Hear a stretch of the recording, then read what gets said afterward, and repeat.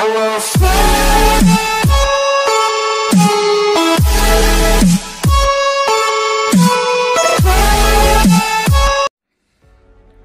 গোটেই বিশ্বত জনপ্ৰিয় গেমৰ লিষ্টত পাবজি আছে বুলি আমি চবেই জানো।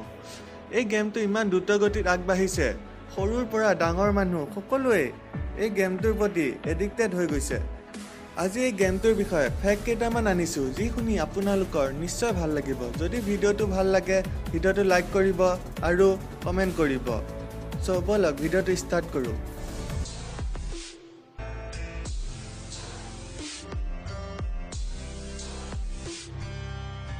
পাবজি নিৰ্মাতা ব্ৰেণ্ডন গ্ৰীণ ভিডিঅ' গেমৰ এডিক্ট আছিল আৰু ব্ৰেণ্ডনে বেটল ৰয়েল গেম খেলি বহুত ভাল পাইছিল। ব্ৰেণ্ডনে কেতিয়াও এনেকুৱা গেম উলিয়াম বুলি ভবা নাছিল। ব্ৰেণ্ডনে হাংকাৰ গেমছ নামৰ কিতাপ এখন পঢ়ি থাকোঁতেই পাবজি গেমটো বনোৱাৰ সিদ্ধান্ত মনত আহিছিল আৰু এই গেমটো বনোৱাৰ সিদ্ধান্ত লৈছিল। চাইনিজ চিনেমা এখন য'ত বহু লোকক ছাৰ্ভাইভ কৰিব দ্বীপ এটাত এৰি দিয়ে এই চিনেমাখনৰ আইডিয়া লৈয়ে পাবজি গেমটো ব্ৰেণ্ডনে বনাইছিল।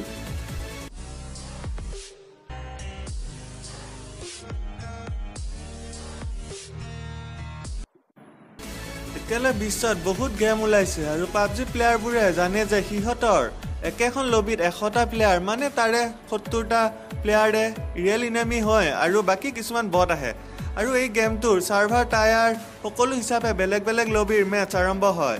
ইয়াৰ পৰা আমি জানিব পাৰোঁ যে এই গেমটো একেটা সময়তে কিমানে খেলি থাকে। আৰু ৱৰ্ল্ডৰ ভিতৰত পাবজিয়ে এইটো হিচাপত ৱৰ্ল্ড ৰেকৰ্ড বনাই থৈছে।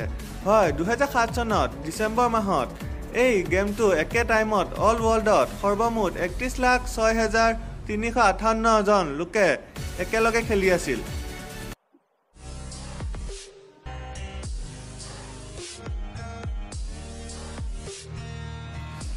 পাবজিৰ বিষয়ে আৰু এটা ফেক্ট হৈছে যে আমাৰ ইণ্ডিয়াত টেলিভিশ্যনত পাবজিৰ আগলৈ কোনো গেমৰ এড দিয়া নাছিল। যেতিয়া Vice City Need for Speed যিবোৰ পাবজিৰ আগলৈ বহুত ফেমাছ গেম আছিল এইবোৰৰ এড ইণ্ডিয়ান টেলিভিশ্যন কেতিয়াও দিয়া নাছিল। পাবজিয়ে হৈছে ফাৰ্ষ্ট গেম যাৰ এড ইণ্ডিয়ান টেলিভিশ্যনত দিছিল। এতিয়া আমি জানিব পাৰোঁ যে পাবজি ইণ্ডিয়াত কিমান চলিছিল।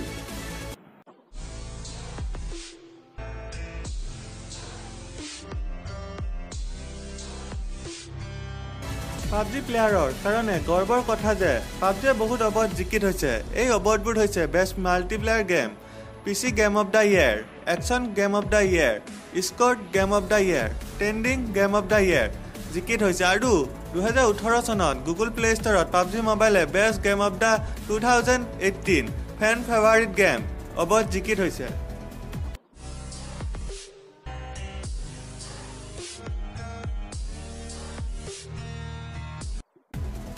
পাবজি গেমটো ডেভেলপ কৰোঁতে এক লাখৰ পৰা ডেৰ লাখ ডলাৰ যি প্ৰায় ছেভেণ্টি ফাইভ লাখৰ পৰা ওৱান পইণ্ট ওৱান কৰোৰ টকা হয়। আৰু এই গেমটো ইমানেই চলিছিল যে গেমটো ৰিলিজ হোৱাৰ মাত্ৰ তিনি দিনতেই এই গেমটোৱে ছেভেণ্টি কৰোৰ টকা ইনকাম কৰিছিল।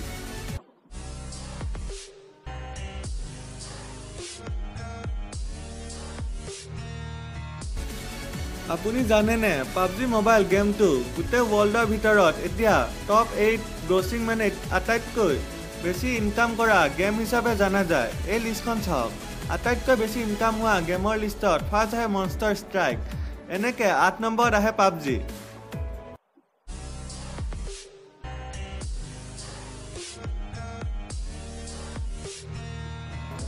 আপুনি জানেনে পাবজি নিৰ্মাতা ব্ৰেণ্ডন গ্ৰীণ।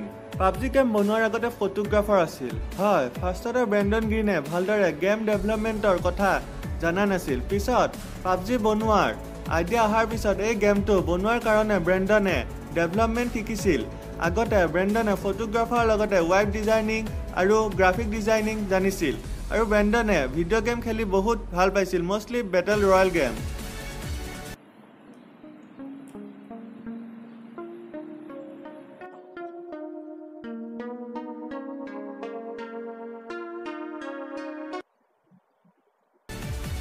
যদি ভিডিঅ'টো ভাল লাগিল লাইক কৰিব কমেণ্ট কৰিব।